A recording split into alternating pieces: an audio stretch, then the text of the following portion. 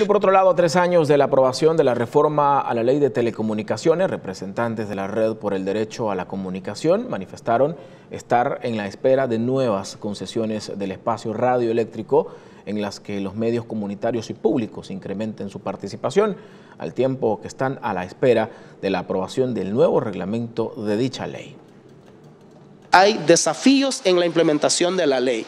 Y hemos señalado estas tres cosas. Tres años después de la reforma no se han otorgado concesiones para medios comunitarios, ni para radio, ni para televisión, pero sí se han seguido otorgando concesiones por subasta para medios comerciales.